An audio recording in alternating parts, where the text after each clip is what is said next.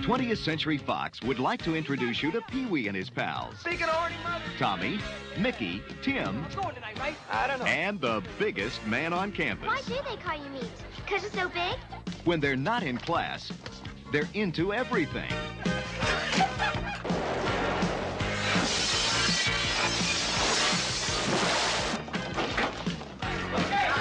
Save your energy, you're gonna need it. Okay. okay,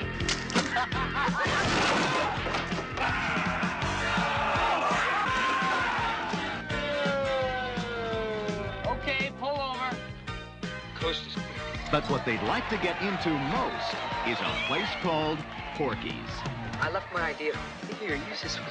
That's my Bible school card. Unfortunately, we can only show you the outside of Porky's. Because what goes on inside is not to be believed. Boy, the locker room. Oh, it's turned me on.